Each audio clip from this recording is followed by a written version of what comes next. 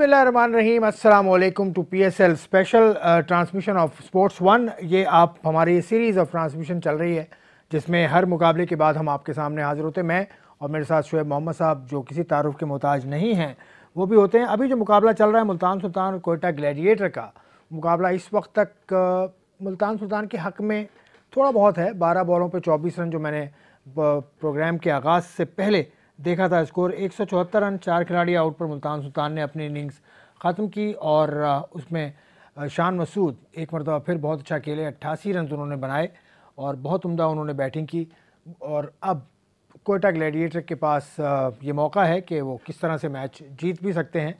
जीत सकते हैं, दो ओवर में चौबीस रन वेरी मच पॉसिबल लेकिन उनकी सात विकटें गिर चुकी हैं। ये मसला है उनके साथ, क्योंकि इससे पहले आउट होने वाले प्लेयर हैं इफ्तार अहमद।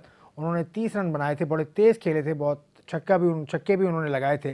लेकिन इस वक्त कोयटा के लिए मुश्किल सूरत हाल है ज़रूर। लेकिन कैसे ये मैच जाता है, इसमें तो हम बात करेंगे। और कल का मुकाबला मुल्तान सुल्तान और इस्लामाबाद यूनाइटेड के दरमियान होगा। वो भी देखना होगा, इस्लामाबाद यूनाइटेड ने एक मुकाबला पहले खेल चुकी है और इस्लामाबाद यूनाइटेड ने वो मैच नौ विकटों से जीता था, पेशावर जलमी के ख़िलाफ़। तो Islamabad United are on on high, of course आज और फिर कल के दिन कराची किंग्स की प्रैक्टिस का सेशन भी है और भी बहुत सारे मामला हैं जिन पर हम बात करेंगे इस पी एस एल में शोएब मोहम्मद साहब के साथ। शोएब मोहम्मद साहब अस्सलाम वालेकुम वालेकुम भाई। अभी मैच की सूरत हाल कैसी लग रही है आपको? 12 में 24 मैच बिल्कुल इस वक्त ऑलमोस्ट इवनली पॉइस लग रहा है और uh, फिर भी 24 रन आखिरी के तीन तो ग्यारह बॉल हैं ग्यारह बॉल हैं और 21 रन 21 रन है। तो मैं समझता हूँ कि अभी भी जो जो दूसरी टीम है मुल्तान उनका थोड़ा स्लाइट एज मुझे नज़र आ रहा है। इससे कि ये चौबीस इक्कीस रन करना ग्यारह बॉलों में इतना आसान नहीं होगा। अनलेस के एक दो बड़ी हिट्स में कामयाबी मिले विकटें सिर्फ़ कम रह गई हैं। खुला शॉट खेलते हुए नेचुरली जो सुहेल तनवीर और दूसरे बैट्समैन जो खेल रहे हैं वो उनको इतना आसानी नहीं होगी मैं समझता हूँ। तो मुश्किल ज़्यादा कोयटा की तरफ़ हैं। तेरह बॉलों में थर्टी बहुत अच्छी की इफ्तार ने लेकिन एक बाहर जाती बॉल पे उनको एज हाँ, लगी। वहाँ मैच एकदम जो हाँ। कोयटा के जो फेवर में था वहाँ से बिल्कुल टर्न अराउंड होके इनके फेवर में ज़्यादा आ गया अभी एहसन अली एहसन अली खेले थे अच्छा खेले चौबीस रन उन्होंने बनाए। सरफराज अहमद 21 रन बनाए और वो उनका जो पेट शॉट है स्वीप हम्म, स्वीप उस पर उनको टॉप एज लगा। तो पेट शॉट में भी कभी कभी गलती कर जाता है ये जो आपका जो फेवरेट शॉट शॉट होता है ना जो रन स्कोरिंग शॉट होता है नेचुरली आप you are bound to play that shot every now and then Imran Khan साहब के ऊपर है कि उनको मोटिवेट करें और वो खुद कितना आना चाहते हैं नहीं आना चाहते ये तो टेप बॉल क्रिकेट में तो आ गए वो प्रेजेंट है। टेप बॉल क्रिकेट के कराची। हाँ तो ये ये पाकिस्तान का नुकसान है। अगर ऐसी बात है तो ये पाकिस्तान का नुकसान है इसमें और और कोई ऐसी चीज़ नहीं है। तो आई विश के he is to be seen around for for Pakistan somewhere और चले देखते हैं क्या इस हवाले से बात होती है। अब मैं ब्रेक ले रहा हूँ ब्रेक के बाद वापस आएँगे। बाबर आज़म पर एनालिसिस होगा। बड़ा कीन एनालिसिस होगा कि बाबर आज़म क्यों स्कोर नहीं कर रहे हैं। क्योंकि बहुत बड़े प्लेयर हैं पाकिस्तान के। नंबर वन प्लेयर तो हैं, लेकिन दुनिया में माने जाते हैं। बाबर आज़म पे बात करेंगे इस ब्रेक के बाद।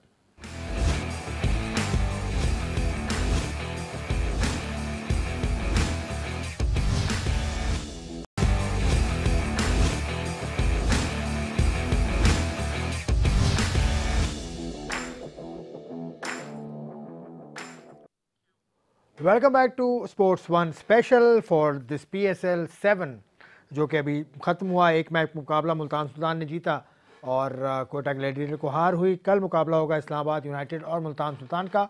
आ, कराची किंग्स एक बड़ी टीम है और काफ़ी महँगी टीम है और काफ़ी फ़ैन फॉलोइंग है। कराची शहर में ही मुकाबले हो रहे हैं लेकिन कराची किंग्स को क्लिक अभी तक नहीं मिल सका।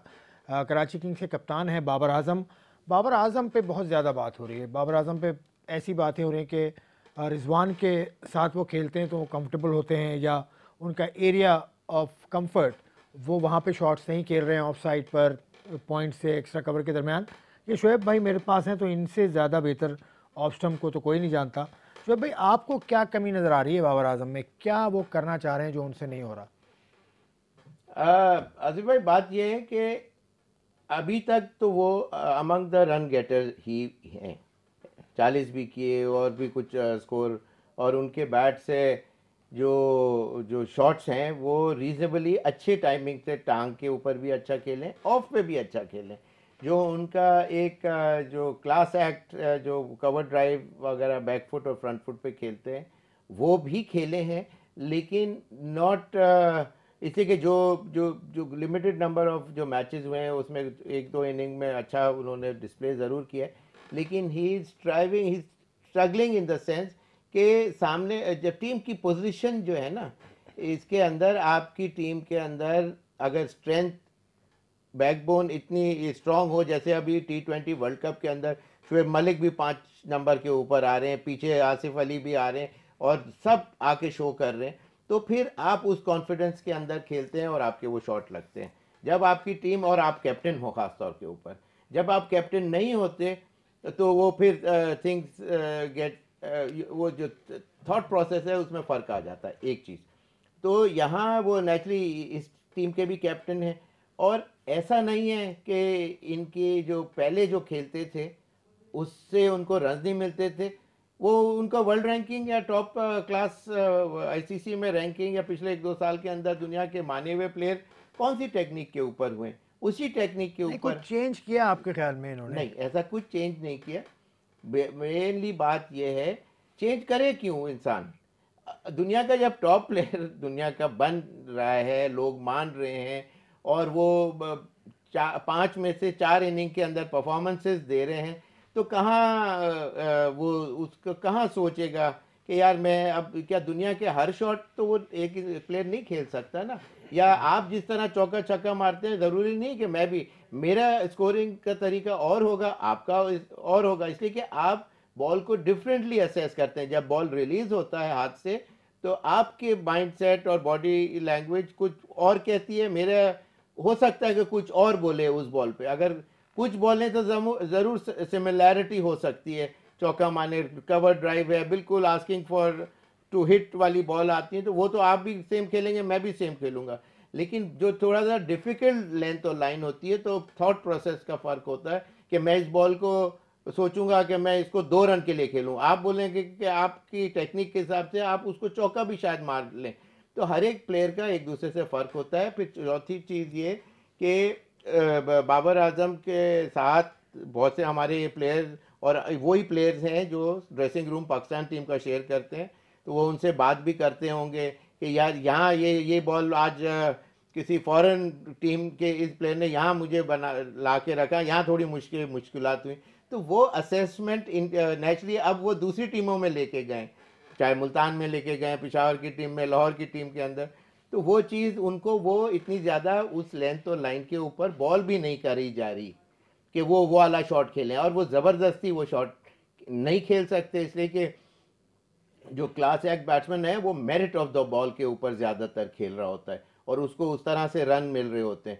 ये विकटें जो पिचेस हैं, बहुत अच्छी बैटिंग विकटें हैं, लेकिन येट इससे पहले जितनी विकटें या स्पेशली वहाँ यूएई में भी हमने देखा या बहुत सी और कंट्रीज़ के अंदर, वहाँ बॉल जब बल्ले से, वहाँ पिच से निकलता है तो वो पेस ऑफ़ द बॉल भी चाहिए होता है वो वाले शॉट एक्सिक्यूट करने के लिए।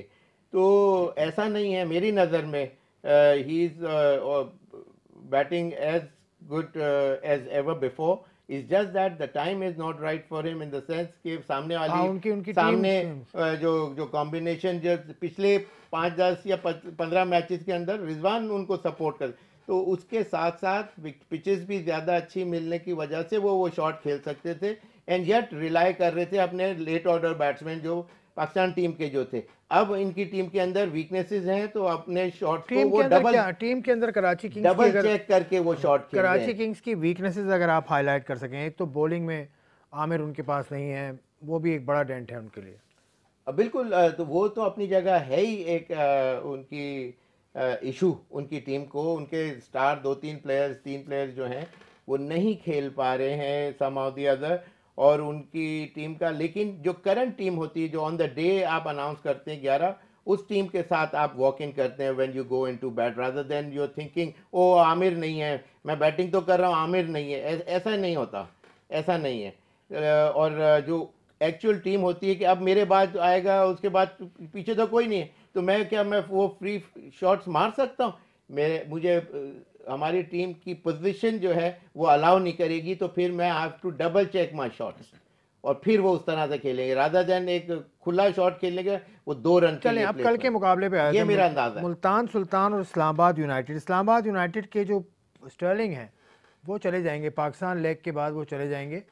उनको नेशनल ड्यूटी के लिए जाना है तो पॉल स्टर्लिंग नहीं होंगे उनके साथ। इस्लामाबाद यूनाइटेड के साथ। अभी तो मैचेस में होंगे लेकिन अच्छा कल डिस्प्ले किया था थोड़ा वज़न के बारे में मैंने आपसे पूछा था कल भी। हाँ। ये बहुत ज़्यादा डिबेट होती है। खैर कल ख़त्म हो गई थी डिबेट अब मुल्तान सुल्तान भी ऑन हाई जाएगी और इस्लामाबाद यूनाइटेड भी ऑन हाई क्योंकि नौ विकटों से मैच जीता है इस्लामाबाद यूनाइटेड ने इससे पहले वाला। हम्म। तो आपको अब क्या लगता है मैच में? नहीं कॉन्फिडेंट उनका मैच कल मुल्तान और इस्लामाबाद का कल मैच है। जी। और मुल्तान की टीम ऑफकोर्स बहुत अच्छी जा रही है। बहुत अच्छा अभी तक के जितने मैचेस हुए हैं, उनमें one of the best match मैं एक्सपेक्ट कर रहा हूँ। कल गुड क्रिकेट देखने में आएगी और कॉम्पिटिटिव होगी और उसमें बड़े अच्छे प्लेयर्स डेफिनेटली हैं। और लेकिन टी ट्वेंटी में तो ये होता है कि चार ओवर हेयर और देर जो ज़्यादा अच्छा क्रूशल टाइम के ऊपर। इसी के मैच का बाद क्रूशल मोमेंट शुरू का होता है, बाद दफ़ा एंड और बाद दफ़ा बीच का भी टाइम पीरियड होता है। तो वो तो जब मैच चल रहा होता है, उसमें असेस किया जाता है कि कौन सा क्रूशल मोमेंट है और उसमें हमारी टीम को क्या करना चाहिए कि बाद दफ़ा विकटें आपको नहीं गिरानी होती हैं और रन को एक्यूमुलेट करके एक करीब टारगेट जो एवरेज चाहिए होता है, उसके करीब रहना पड़ता है, अगर फंसी हुई टीम है तो।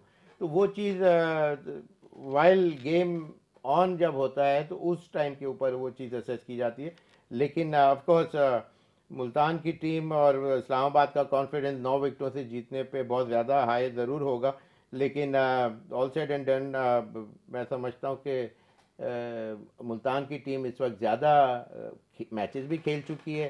कॉन्फिडेंस भी उनका ज़्यादा होगा इस वक्त और expectation it could be any match लेकिन मेरे ख्याल से शायद हो सकता है कि Multan would pull it off ये जो स्टर्लिंग का जाना है ये किसी हवाले से अचानक हुआ है जाना? क्योंकि नेशनल ड्यूटी पे वो जा रहे हैं उनकी जगह लियाम डॉसन को खिलाएँगे अब सात तारीख के बाद। तो ये कोई कि, कि, कि, किस तरह से देख रहे हैं आप? ये पहले तो देख रहा हूँ कि अब नेचुरली स्टर्लिंग ज़्यादा होता जा रहा है 240 पे चला गया है तो इसलिए उसको वापस बुला लिया है। तो नहीं अब देखें प्लेयर तो देखें आते जाते रहते हैं। वो आप वो नहीं होंगे तो उनकी जगह कोई और होगा कोई और नहीं होगा तो कभी इंजरी हो जाती है। एक दफ़ा हम साउथ अफ्रीका में खेल रहे थे तो सुबह प्रैक्टिस हो रही थी। इंजमाम ने एक नॉर्मल कैच आया उसका पूरा यहाँ से यहाँ तक फट गया और वो नेचुरली मैच नहीं खेल सका। तो अनफोर्सिन चीज़ें होती हैं that all part and parcel of the आप ओपनर हैं थे ना? ओपनर हैं स्टर्लिंग भी। हाँ। तो ओपनिंग कॉम्बिनेशन का चेंज होना कोई फ़र्क पड़ता है टीम पे? नहीं ये तो देखिए चार ओवर की शुरू के जो छः ओवर जो हिटिंग की ज़रूरत होती है दूसरे भी प्लेयर्स हैं जो वो उसको कवर अप कर सकते हैं। चलें ठीक है। आ, अब आज के प्रोग्राम से बस मैं इजाज़त चाहूँगा आपसे मुल्तान सुल्तान और इस्लामाबाद यूनाइटेड का जो मुकाबला कल होगा उसके बाद आपके सामने फिर हाजिर होंगे। खुदा हाफिज़।